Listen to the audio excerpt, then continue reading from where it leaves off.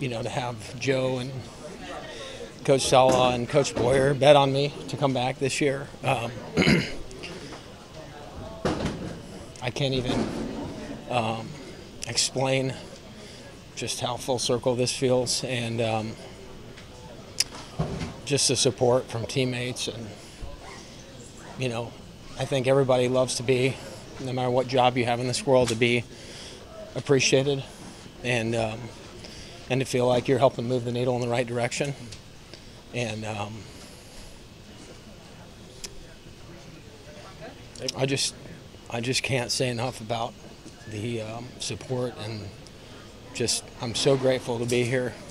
And um, i don't know what else to say. Every teammate